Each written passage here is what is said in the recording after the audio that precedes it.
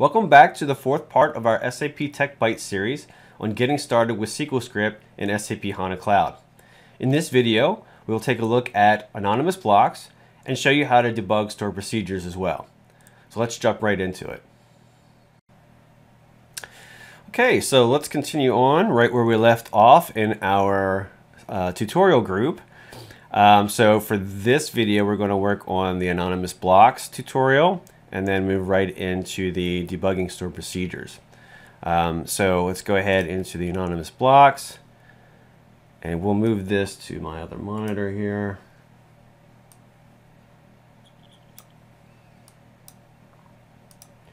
Okay. Um, so for this tutorial, we're going to spend uh, all of our time in the Database Explorer as opposed to the um, SAP Business Application Studio. Um, so let's go ahead and we'll open up a um, SQL Console tab simply by clicking this, this button up here in the corner.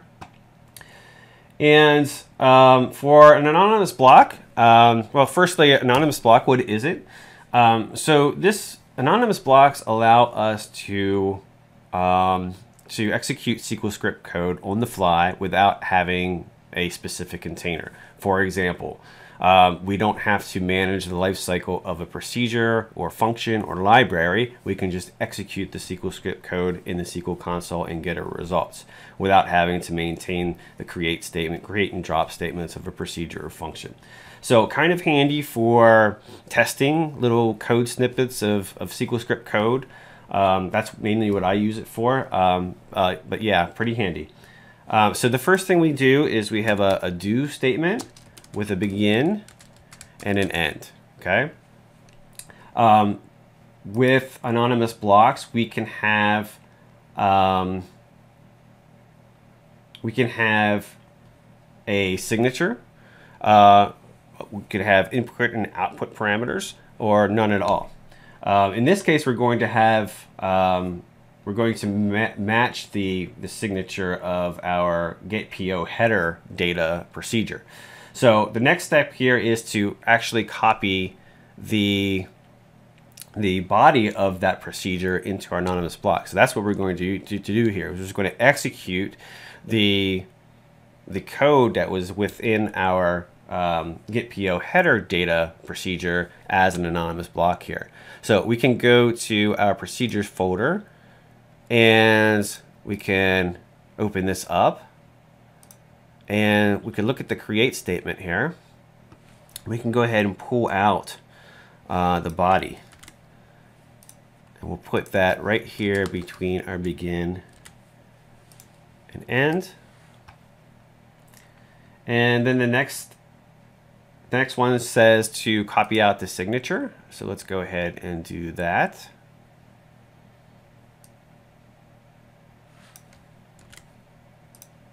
And we'll put that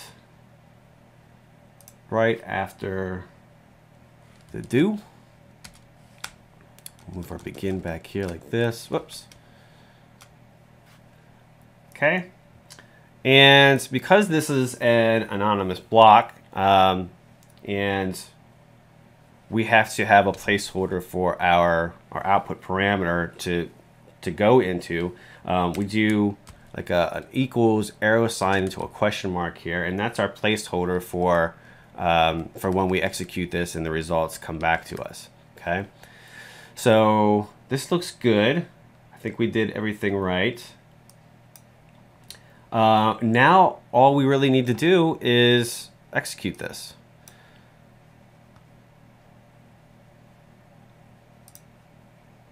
And just like that, our results come back in our table just as if we would have executed the procedure. But again, this is just executing the code that was in, in within our procedure as a standalone um, SQL script uh, anonymous block.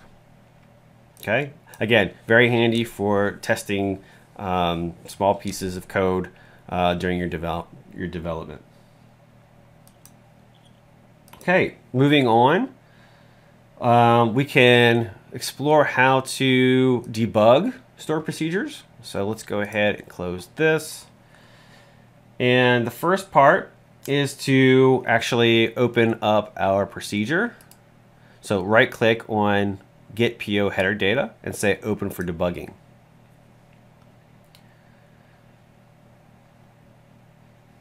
Um, this dialog comes up and we're going to take the defaults here and just go ahead and click OK. We can set a breakpoint. So let's set a breakpoint at line 14. So our procedure is now ready to be debugged. So we can go ahead and um, generate a call statement for this. So right click on the procedure and say generate call statement. That gives us another SQL console here.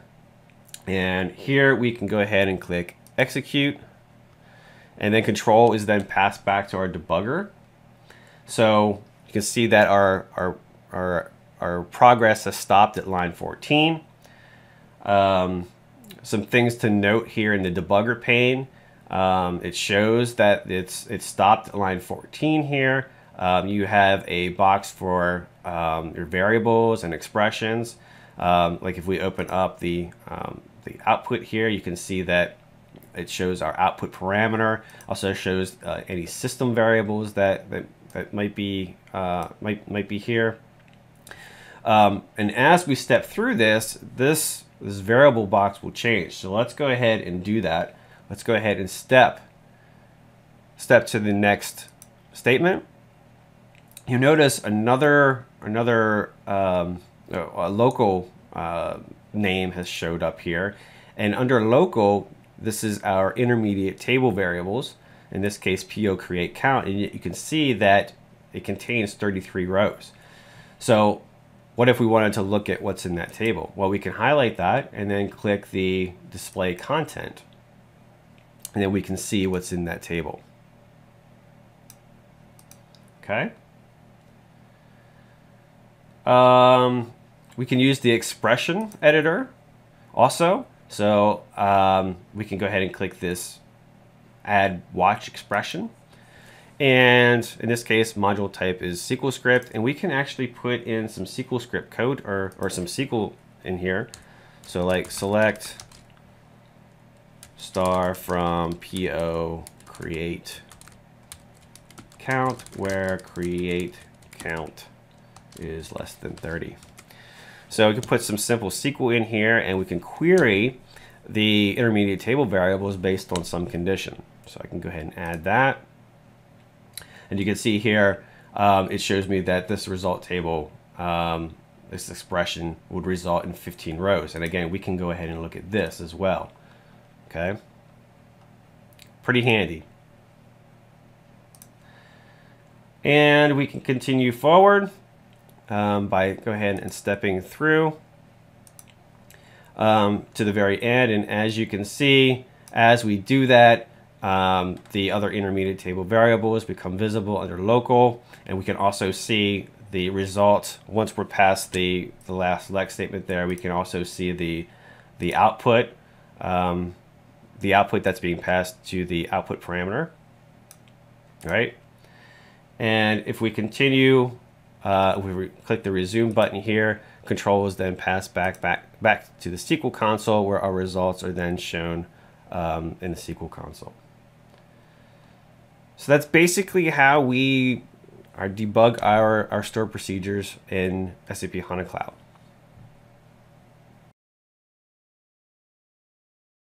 So that wraps up this fourth part of our series on getting started with SQL script in SAP HANA Cloud. Join us for the final part, part five, where we will look at how to manipulate intermediate table variables using index-based cell access and table variable operators.